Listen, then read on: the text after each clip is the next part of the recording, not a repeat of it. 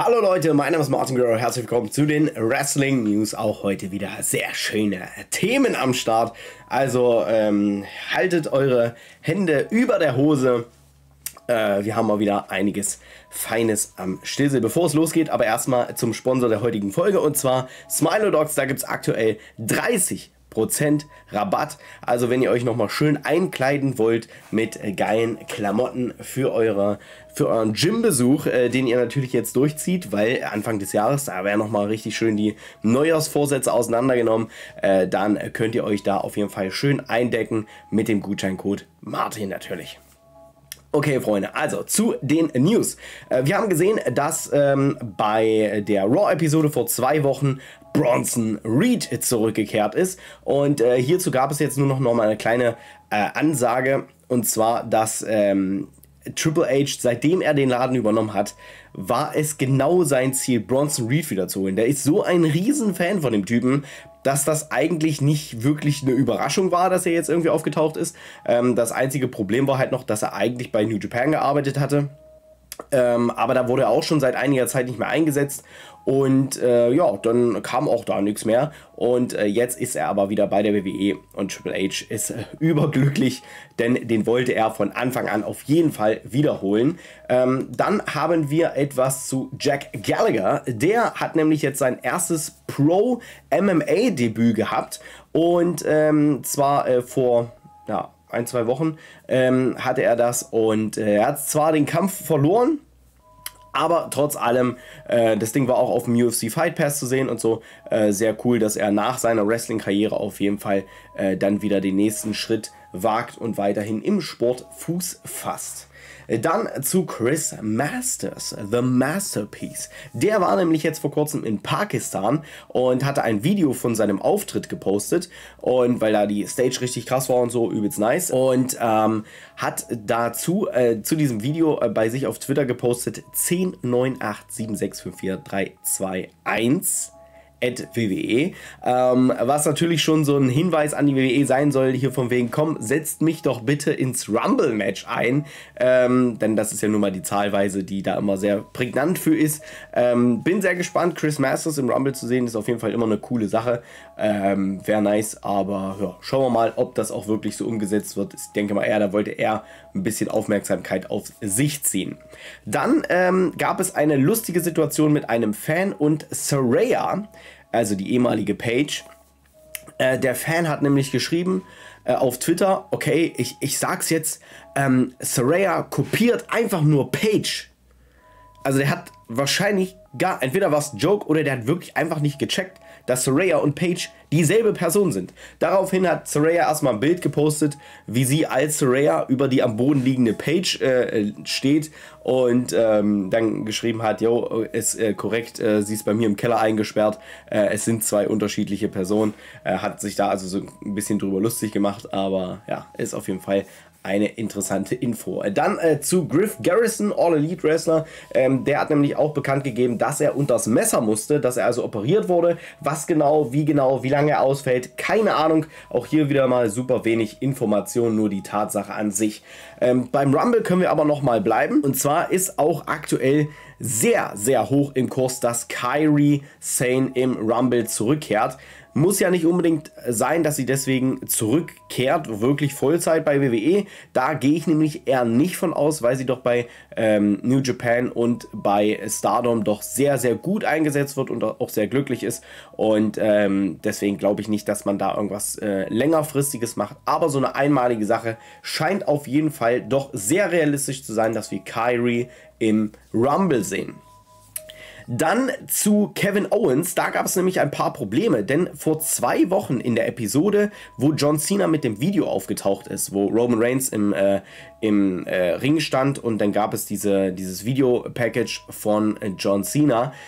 In dieser Episode und in der darauffolgenden, die wurde nämlich in der Episode mit aufge äh, aufgezeichnet, ähm, war eigentlich Kevin Owens mitgeplant.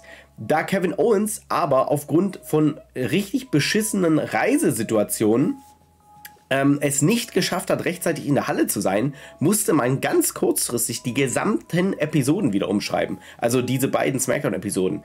Ähm, ursprünglich war also geplant, dass man Owens hier auf jeden Fall mit der Bloodline face-to-face -face setzt, um dann dieses Video anzuteasen. Ähm, aber das konnte man dann alles nicht machen, weil Owens nicht da war. Also hier auch äh, richtig beschissen gelaufen. Was ebenfalls beschissen gelaufen ist, ist der Dive von Top Dollar in derselben äh, Episode. Der hat nämlich einen Top Road Dive gemacht und hat sich dabei fast selbst getötet. Ähm, ist also hängen geblieben und mit dem Nacken auf den Apron gelandet. Also so schlimm wie es eigentlich nur geht. Richtig dumm. Es ist zwar nichts passiert, aber es sah halt unglaublich äh, scheiße aus. Und ähm, daraufhin hat er sich versucht so ein bisschen zu verteidigen und hat ein Video gepostet von sich, wie er einen Dive macht. Also von wegen, äh, guckt mal hier, ich kann nämlich doch übers oberste Seil springen. Ich bin nämlich voll krass. Also das Ding ist, das Video, was er da gepostet hat, ging darum, dass er quasi einfach wirklich gerade übers oberste Seil gehüpft ist. Okay, das, was er aber in der Smackdown-Episode versucht hat, war eine Vorwärtsrolle übers oberste Seil. Also quasi eine Swanton Bomb, mehr oder weniger. Und das ist schon nochmal ein bisschen was anderes. Es ist zwar ähm, technisch gesehen einfacher, aber du musst halt auch die Eier dafür haben. Und ähm, ja, das, äh, das hindert dich denn eher daran, das komplett anständig durchzuziehen und dann bleibt man halt irgendwo hängen, weil man sich vielleicht doch nicht so sicher ist, dass man das drauf hat. Ähm, das heißt, seine Verteidigung hier äh, fand ich dann doch eher ein bisschen ein bisschen komisch, aber naja, er hat es auf jeden Fall versucht.